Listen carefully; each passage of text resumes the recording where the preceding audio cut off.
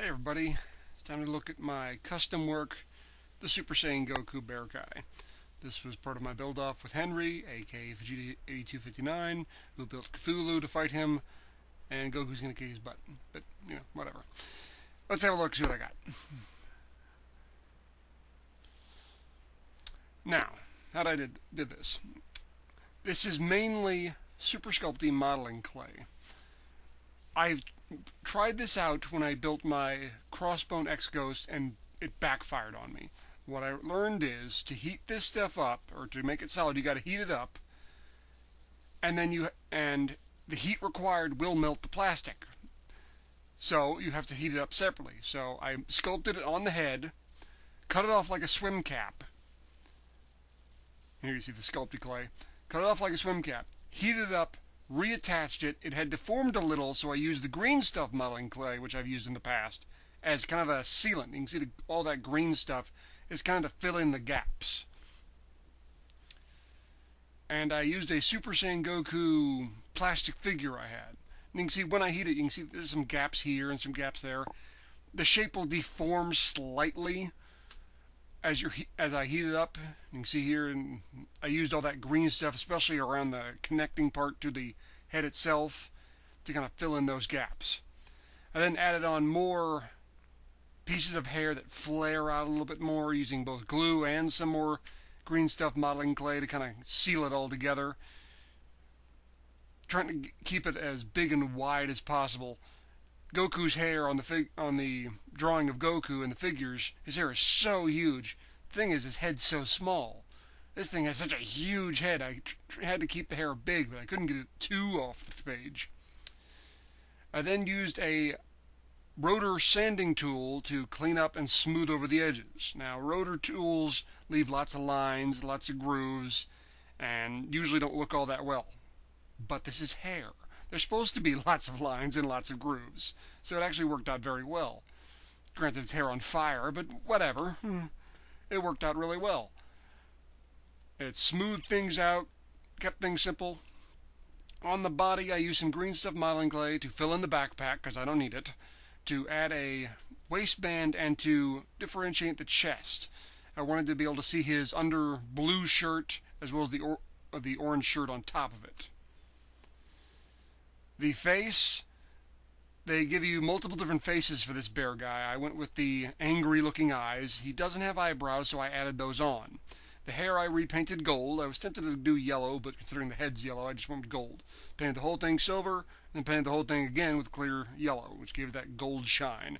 You can see, unless you know what you're looking for, you can't see the green stuff modeling clay in there anymore. The inside of the mouth had to be repainted as well, red, Otherwise, just kind of comes of a tan yellow. And repainted the entire body in the orange and blue. I changed his claws to black. I don't know why, just because I thought it looked cool. And repainted the entire inner and outer frame orange, except the tail, which I painted something else. I'll show you that in a bit.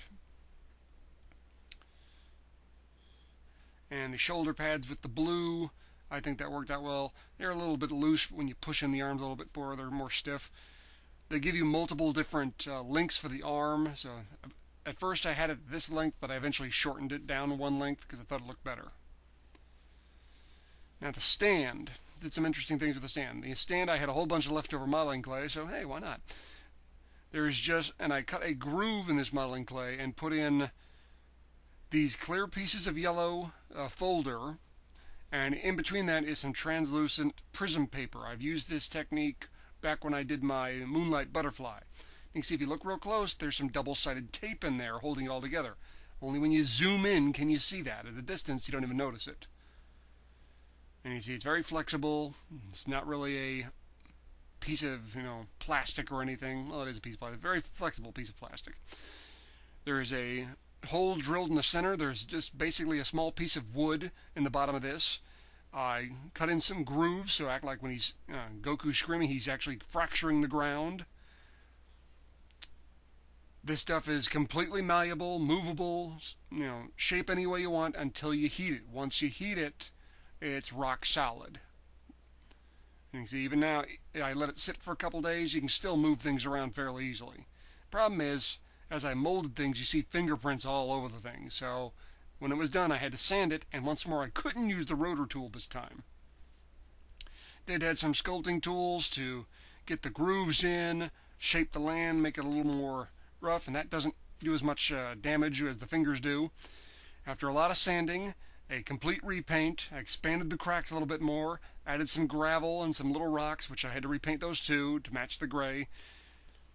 And then I use some spray glue to hold everything in place for the most part. And I kind of like the, the cracks in the ground. The whole earth is shaking and fracturing. I got a clear cylindrical rod to hold him up, cut it at an angle so it attached to the head. I wanted this clear because I didn't want it to stand out in front of that flare or in front of that fire. The reason is he is so heavy with that big hair, he can't stand. He can't even come close to standing. So what I had, to, what I was going to do was have him propped up here. I thought maybe it'll just be enough to hold it up, but eventually he did fall over a couple times. Nice thing I learned is, even when he falls at a fairly high distance, that head is pl plenty strong enough, or that clay rather, is plenty strong enough. Doesn't crack, doesn't break. It is heavy as sin though.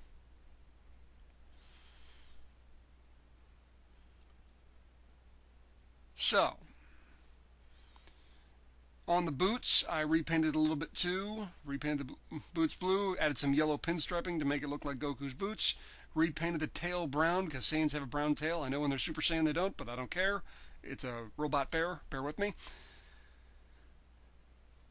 And overall looks pretty good. He, when you look at him, you see, hey, that's what a robot bear would look like if it was dressed up as Goku. But like I said, he's ridiculously back heavy or top heavy or whatever heavy. And here you see him next to the Goku figure I kind of modeled his hair after. You can see the hair is so huge on Goku. Now, like I said, ridiculously back heavy. I, I was thinking I, the, the uh, clear stand would be enough to prop him up. It wasn't. So what I used was two earth magnets. Earth magnets are essentially very, very, very strong magnets. So strong that when I glued the magnet to the back of Goku's head there, the magnet would pull off the glue. In fact, a couple of pieces of the clay as well. So eventually what I had to do was use a little bit of green stuff modeling clay to seal that magnet in there permanently and then repainted it later so it kind of didn't stand out. But that'll hold them in place. The fire effect on my old display box, display box was getting old and droopy and I knew it had to be replaced so I decided to send it out with a bit, bit of a flare as it were. Used the translucent paper and stuffed it into cracks which I cut with a box cutter. Extended the cracks from the action base all the way out through the base to act like he's actually, you know, destroying the base as he's exploding. A little bit shaky cam, a little bit of double-sided tape to hold everything in place, and then a small fan near my feet, which was blowing up as I did the shaky cam, kind of completed the effect. And here you see with the fan, as I'm not shaking cam, it stands out a little bit better. It didn't have it quite blasting quite that hard, but you get the idea. But it gave it a little bit more of effect that he's actually, you know, roaring and shaking the place to its core. Well, guys, what'd you think? Did you like the kit? Um, I know this is part of a build-off with Henry. It was all in good fun. I got to play the evil wrestler persona I kind of enjoy playing, maniacal laugh and all that jazz. It was fun. Henry and I are friends. We have fr fun with this. It's a giant gag, and I like it that way.